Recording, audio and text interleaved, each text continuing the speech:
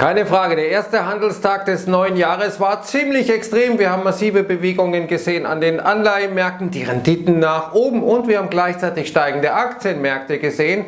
Vor allem im Tech-Bereich haben wir steigende Aktienmärkte gesehen und normalerweise passt das ja nicht so richtig zusammen. Steigende Renditen und steigende Tech-Aktien, das ist normalerweise etwas, was eher konträr läuft. Steigende Renditen, eher schwächere Tech-Aktien. Und andersrum, gestern war das aber anders anders und das liegt daran, dass offenkundig hier zwei Narrative am Start sind. Eines der Aktienmärkte, die sagen sich, who cares? Wir spielen das Jahr 2020 und 2021. Wir gehen also in die Dickfische wie eine Apple oder eine Tesla und äh, spielen das alte Spiel des äh, Monopols. Hier sind also die dicken Gewinne, wir haben Anlagedruck, wir haben Druck vor allem, weil jetzt neues Geld natürlich gekommen ist durch Anleger, das über ETFs angelegt werden muss, das von Vermögensverwaltern zu Jahresbeginn angelegt werden muss. Und was macht man? Man weicht auf das aus, was man in den letzten äh, Wochen, Monaten und Jahren äh, immer schon getan hat. Und auf der anderen Seite aber die Anleihemärkte, die sich sagen, oh, jetzt wird die Fed richtig auf die Bremse Bremse treten. Und äh, wer hat recht? Die Aktienmärkte oder die Anleihenmärkte? Wie wird die Fed auf die Inflation reagieren? Durch deutliche und schnelle Zinsanhebungen? Ja oder nein? Das ist die Frage, die jetzt äh, bald äh, zur Entscheidung kommen wird. Heute bekommen wir etwa den ISM-Index Gewerbe in den USA und da wird man sehr genau auf die Preiskomponente schauen. Da sind rückläufige Preise erwartet, aber mal schauen, wie es reinkommt. Und wir haben jetzt auch in China wieder ein neues Thema dazu, gleich mehr. This looks familiar, wie Sven Hendrick hier schreibt, New York Advanced Decline.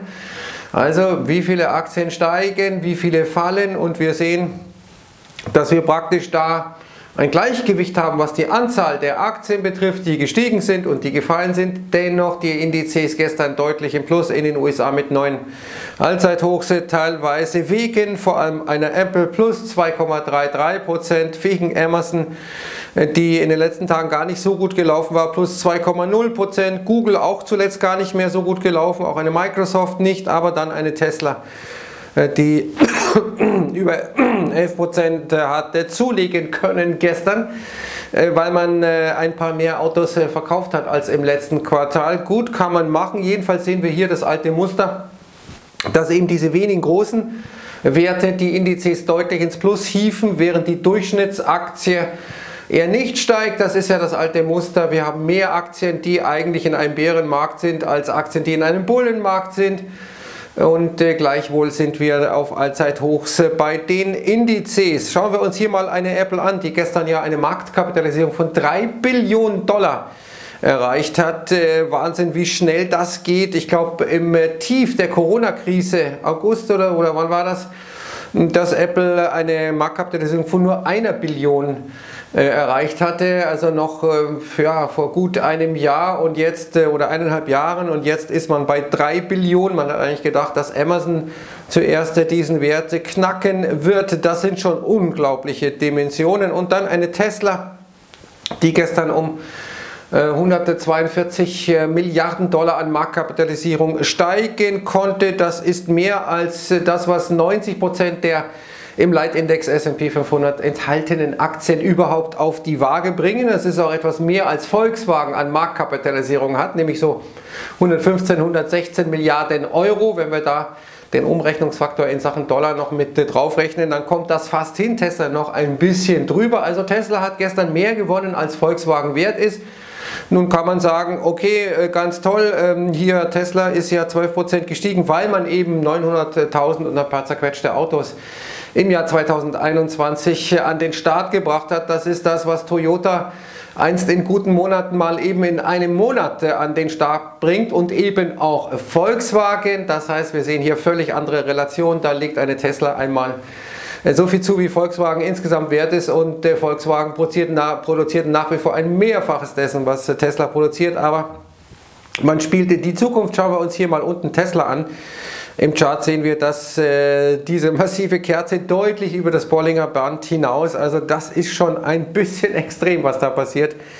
Und da dürften heute die äh, Bäume nicht mehr in den Himmel wachsen, sondern tendenziell Gewinnmitnahmen passieren. Insgesamt sehen wir auch wieder einen Short Squeeze gestern. Wir sehen hier die Most Shorted Stocks, die sind gerade zu Handelsbeginn dann ziemlich nach oben gegangen in den USA. Jetzt haben wir eine Quote von 1,5% Short im S&P 500.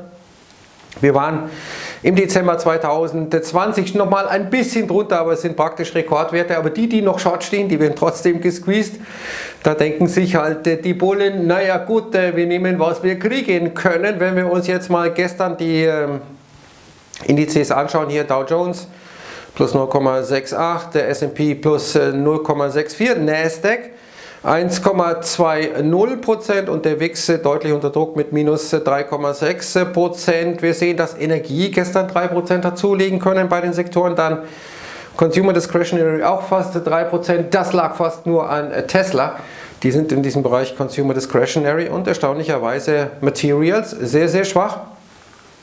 Finanzwerte Gut, äh, warum? Weil die Zinskurve sich wieder versteilt. Das ist für Finanzwerte gut aufgrund der äh, Fristentransformation und dann eben Technologie mit äh, einem Prozent knapp im Plus.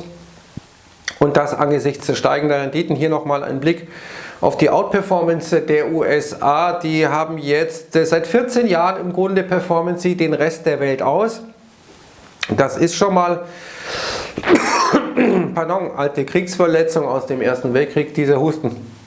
Äh, wir sehen ähm, hier praktisch diese massive Outperformance im Grunde seit der Finanzkrise, die hier der Fall ist.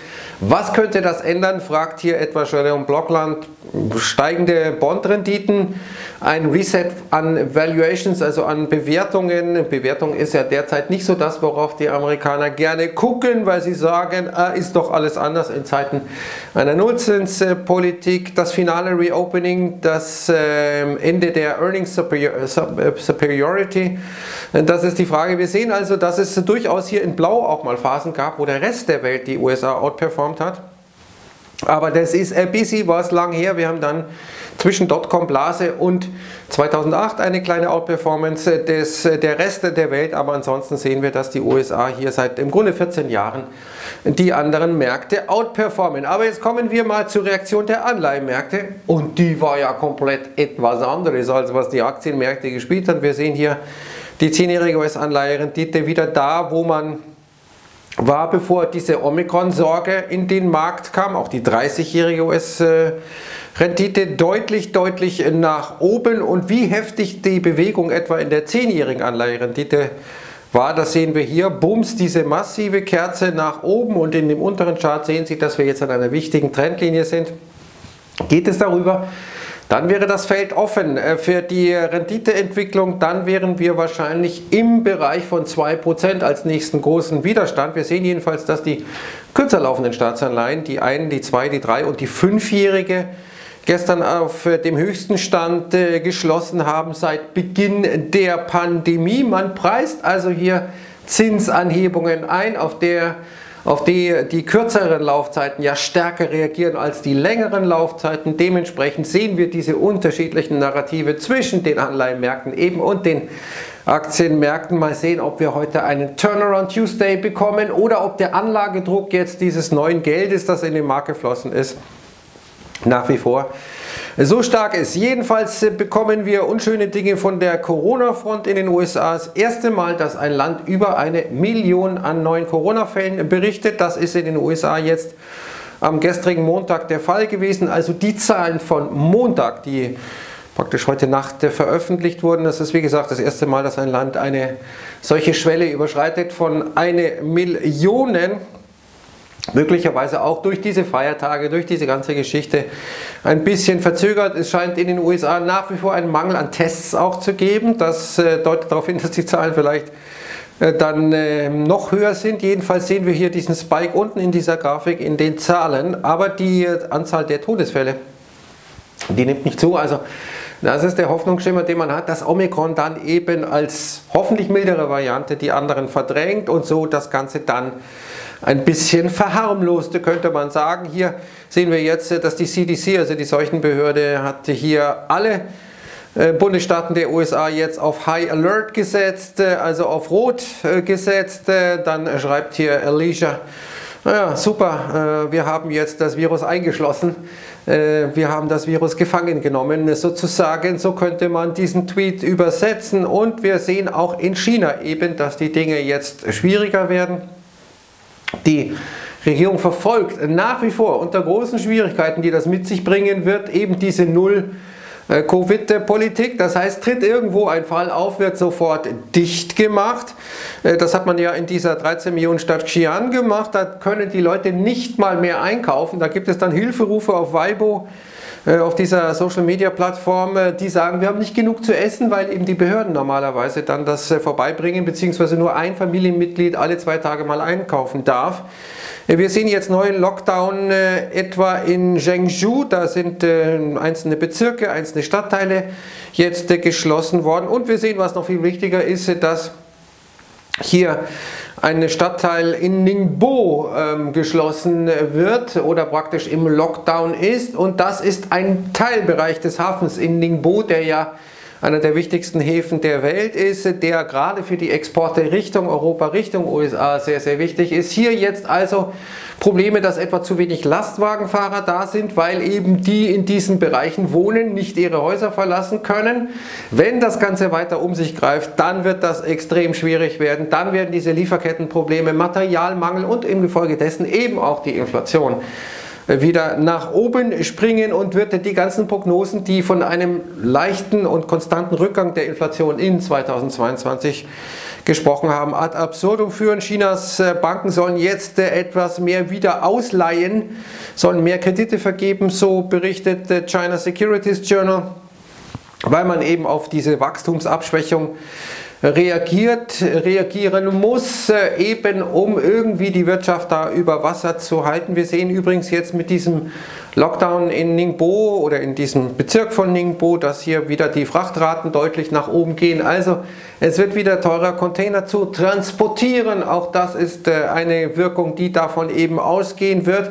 Wir hatten heute dann aus China noch den Caixin Einkaufsmanager Index, einen Ticken besser als erwartet, einen Ticken über der 50er Marke. Wir sehen, dass die Einkaufsmanager Indizes in China sich schon wieder ein bisschen erholen, wohl auch in Erwartung von mehr Stimulus durch die ähm, Regierung in Peking, die ja das Ruder schon umgerissen hat und eigentlich auf einem ganz anderen Weg ist jetzt als die Amerikaner, die auf die Bremse treten wollen. Aber was ist das große Problem, wie hier etwa die Commerzbank schreibt? Die wichtigsten Faktoren für die Konjunkturabschwächung sind jedoch die schwache Inlandsnachfrage, eben aufgrund der Null-Covid-Politik durch Peking und der Einbruch des Immobilienmarktes. Und der ist ziemlich saftig eingebrochen. Hier etwa wie die Citigroup zeigt, die 31 börsennotierten Property Companies, also Immobilienentwickler, wenn man so will, in China, deren äh, Sales, äh, deren äh, Verkäufe sind um 26% gefallen im Vergleich zum Vorjahresmonat Dezember.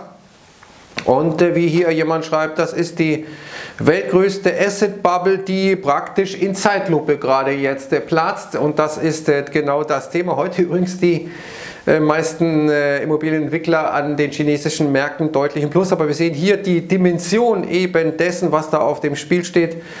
Hier die ähm, dunkelblau, hier China ist äh, praktisch äh, mit Abstand der größte, das größte Asset überhaupt, die größte Assetklasse in der Welt ist der chinesische Immobilienmarkt. Und da rumpelt es. Kommen wir nochmal nach Europa und äh, zur Inflation. Inflation Watch, IKEA is raising prices globally. Durchschnittlich will äh, IKEA around the world, also weltweit, die Preise um 9% anheben. 9%, das ist noch über der Inflationsrate, über der offiziellen. Äh, da sind dann zum Beispiel Produkte, die vorher 99 Euro gekostet haben, kosten dann 129 Euro. Und da sind manche Kunden dann verärgert gewesen, hat IKEA geschrieben, hey zusammen, danke für eure Gedanken, ganz lieb, gell? Ähm, die Rohstoffknappheit und eingeschränkten logistischen Kapazitäten haben Auswirkungen auf die Industrie in der ganzen Welt. Wir haben die Preise ja so gut wie nie erhöht, sagt der Mann äh, und so weiter, aber jetzt könne man eben nicht anders. Also wir sehen, meine Prognose tritt da schon ein Stück weit ein. Ab 1.1. werden die Preise angehoben. Genauso hat es äh, IKEA gemacht.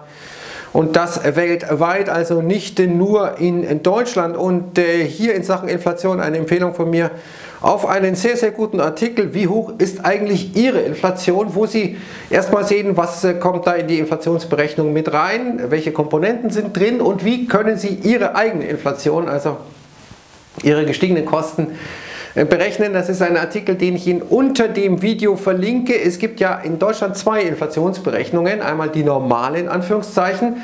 Und da werden eben alle fünf Jahre sozusagen Verbraucher befragt und gesagt, ja, was äh, sind deine Ausgaben, wofür gibst du Geld aus? Ähm, und dann gibt es die sogenannte HVPI-Berechnung. Das ist äh, die Berechnung, die derzeit jetzt auf eine Inflation von 6,0% kommt. Und da wird diese Ermittlung jedes Jahr neu durchgeführt, was dazu führt, etwa, dass dann etwa Gesichtsmasken, die vor fünf Jahren noch keine Rolle gespielt haben, mit einfließen, mitberechnet werden, dass eben das veränderte Kaufverhalten schneller aktualisiert wird. Und je aktualisierter eben diese Dinge sind, umso höher ist die Inflation, wie die Daten zeigen. Da laufen ja viele, viele Menschen rum, äh, die auf äh, geringfügiger Einkommensbasis dann im Nebenjob äh, praktisch durch die Supermärkte gehen, auf bestimmte Produkte fokussiert sind und da schlichtweg jeden Tag, die, jeden Monat die Preise vergleichen, das dann an Statistische Bundesamt melden und äh, da werden dann die äh, Zahlen zusammengesetzt und so entsteht eben dieses große Bild. Was ist wichtig in Sachen Inflation? Worauf sollten Sie achten bei der Inflation? All das, wie gesagt, unter dem Video verlinkt. Äh, das ist äh, für jeden ein absolutes Muss, weil eben wir alle davon schlichtweg betroffen sind. Also schauen wir mal, wie es heute weitergeht nach diesem sehr positiven Jahresauftakt der Aktienmärkte, die erstmal ihr eigenes Ding spielen. Reine Liquidität wahrscheinlich durch die Zuflüsse. Die Anleihenmärkte, die sind jetzt an einem kritischen Punkt. Geht es da weiter nach oben oder eine Pause? Der ISM-Index heute 16 Uhr wird wichtig. Vor allem die Preiskomponente. Schauen Sie da auch mal rein bei Finanzmarktwelt. Wir werden darüber berichten. Jetzt sage ich Servus. Ne? Ciao.